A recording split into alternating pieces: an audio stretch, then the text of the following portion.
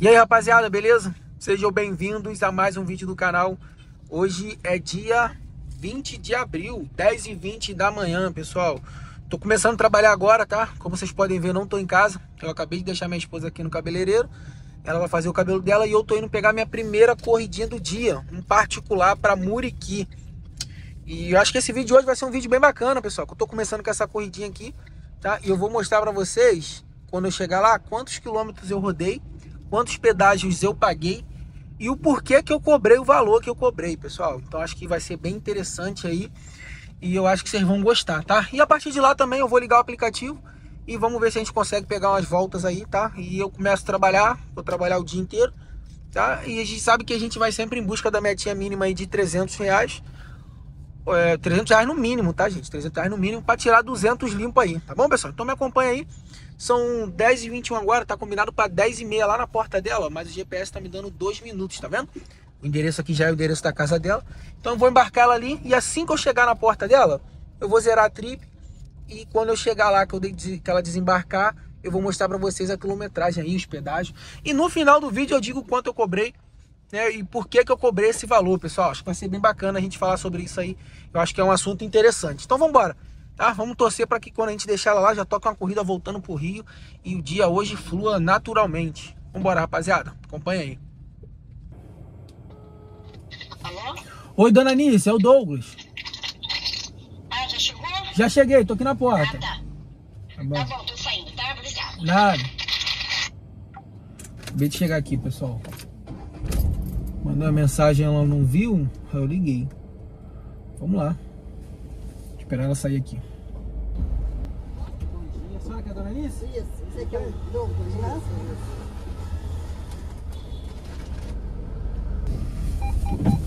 Vamos lá, gente. Muriqui, né? É, Muriqui. Depois a senhora me passa o endereço certinho de lá. Pessoal, 11h54, acabei de deixar eles aqui na rua do lado, tá? E eu vou mostrar pra vocês quantos km eu rodei, tá? Pra chegar até aqui. Foram 74 km, eu levei uma hora e 28. Então guarda isso daí, tá bom? E paguei também 17 reais de pedágio, um de 10 e um de 7,60, 17,60. Já tô com a Uber e com a 99 ligada, eu vou até colocar um direcionamento aqui, pessoal. A 99 fica já tocando. Vou colocar um direcionamento aqui e vamos ver se toca alguma coisa. Assim que tocar, eu mostro para vocês, valeu? Aí, pessoal, 66 reais para Bangu. Encontramos, pô, aí também não, né? 50 quilômetros, 66 reais, mano. Que isso, vamos esperar a próxima. Pode encontrar outro motorista aí. Estamos aqui ainda, hein, pessoal? São meio-dia e quatro agora. Rapaziada, olha isso. 1 e 21 da tarde, pessoal. E até agora nada, gente. Nada, nada, nada. Cara, eu falo e eu mesmo não faço, cara. Tem coisas que eu, sei lá, mano. Eu viajo também de vez em quando, sabia? Eu falo, pô, tá longe, pega a primeira que tocar. Pô, por que, que eu não tentei pelo menos naquela lá pra Bangu, cara? Era na Avenida Brasil. Tava pagando mal? Tava pagando mal, sim. Mas eu podia ter ido, pô. Ah, Douglas, tava pagando 1,20, não vale a pena. O que que vale a pena agora? Eu sair daqui vazio? Deixa eu mostrar minha cara pra vocês aqui de decepção, cara. Eu não acredito. Vale a pena o que agora? Eu sair daqui vazio? Eu já tô uma hora aqui, rapaziada. Uma hora. Vocês viram o horário aí que eu botei. E agora 1h22. Eu tô mais de uma hora. Fora que já tinha uns minutinhos que eu tava esperando já. E, cara, eu vou embora vazio, vou pagar pedágio, vou até é, Itaguaí e vou sair com uma corrida ruim também, pô, entendeu? Então, assim, cara, tem coisa que a gente. Cara, tem coisa que eu faço que eu falo, caraca, mano, que doido. Que burrice, não é doideira não, burrice, mano, que burrice. E essa foi burrice minha, cara. Não tem jeito. Aí tô aqui ainda, ó. 1h22 da tarde. Vou sair vou acabar saindo daqui, que eu já fico bolado já, já quero ir embora.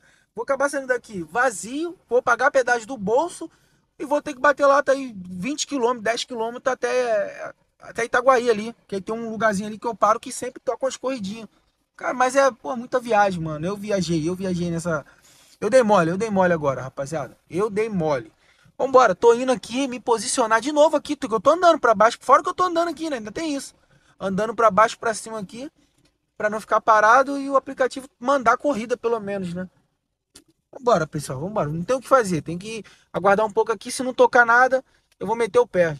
Vou ficar aqui de bobeiro o dia todo, não, mano. Vou ficar aqui não. Aí, falei pra vocês que eu ia sair com uma corrida ruim também? Então, vou pegar essa daqui, pelo menos tocou. Vambora. Vou fazer essa daqui, rapaziada. Santa Cruz.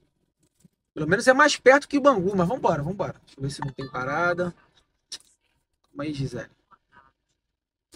Quero só saber se tem parada ou não. Não tem parada. Vambora. Vou pegar a Gisele aqui. Santa Cruz. Corrida ruim. Fiquei uma hora aqui para fazer basicamente a mesma coisa, pessoal. Sorveteria, ó. Vamos lá, vamos buscar essa corridinha aqui. Desculpa, até que eu falei pra ele que eu te enrolei. Não, não, tudo bem. É porque ele tava mandando vir por aqui, né? Eu que eu tava na rua principal. É, ele tava mandando ir por ali, aí chegou ali, tava É, fechado. Pô, também tava ele procurando rua ali, eu já peço me perdeu todinho. É em Santa Cruz, né? Isso, isso. Beleza. Pessoal, são 2h36 agora. Tô aqui no centro de Santa Cruz, 99 ligada. E a Uber também, ligada e direcionado, tá? Eu parei aqui do lado aqui, ó, que eu vou comer um negocinho aqui, pessoal. Vou ver se tem uma comida aqui ainda, que é quase 3 horas da tarde. Não vou nem ligar o aplicativo. Se der pra fazer uma quentinha rapidinho, eu pego e já agarro uma corrida que tiver e vou embora. Vamos lá. Pessoal, 3 e meia da tarde. Eu acabei de almoçar ali não tocou absolutamente nada, gente. Olha onde eu tô, no centro de Santa Cruz. Aí, ó. Drive 99, Uber tudo ligado. E não toca corrida, gente. Pra me tirar daqui, né? Tocar tá tocando. Cracudinho, 6,98. 10 reais, 12 reais. Tocou uma de 20 e pouco aqui pra Itaguaí voltando. Eu falei, tá doido, eu volto não. Então o que, que eu vou fazer? Vou pegar Brasil ali e vou descendo. Aí que tá tocando, é isso. Pegar Brasil ali e vou descendo, pessoal. Se tocar alguma coisa pra gente, vencemos. Se não, tomamos prejuízo, valeu? Acompanha aí, vambora. Até que enfim. Até que enfim, meu irmão. Vamos lá, ó. Tá mal voltão, mas vamos lá, vambora.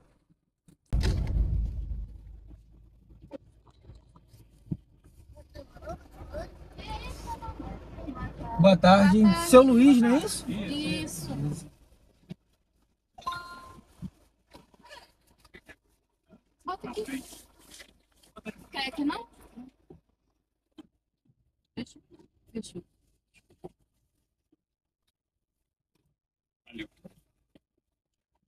Tinha entrado ali errado, foi isso? Foi, o GPS mandou entrar ali. Falei, Ah, caramba. droga. E dar uma volta gigantesca. Eu sei, rapaz. Mas tá bom. É porque não tem como, ali não tem passagem pra cá. Aham. Aí, mano, Eu saí aqui, ó. Eu sei, entendi. Eu vi daqui, eu tava acompanhando. Falei, caramba.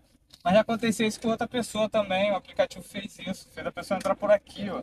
Nada a ver, né?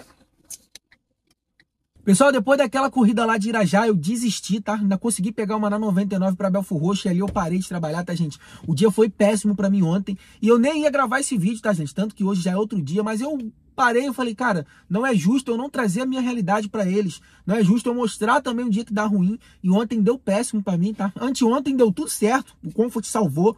É, consegui fazer meu dinheiro rápido, num bom tempo, num bom KM. Foi top. E agora fiz esse particular ontem, né? Fiz esse particular e não fluiu, gente. Eu errei na corrida, era pra ter pego aquela pra Bangu. Depois fiquei muito tempo lá. Depois peguei uma corrida ruim, fui pra Santa Cruz. Fiquei muito tempo em Santa Cruz. Então, do dia todo, gente, eu parei, fiquei mais tempo parado do que trabalhando, porque dentro de corrida, cara. Infelizmente não fluiu pra mim ontem, então eu queria trazer isso pra vocês aqui, pessoal. Eu acho que é mais do que justo, porque eu sei que vocês também têm dias ruins. Aí você abre lá o YouTube, o cara só tem dia bom. Cara, esse cara é, é das galáxias.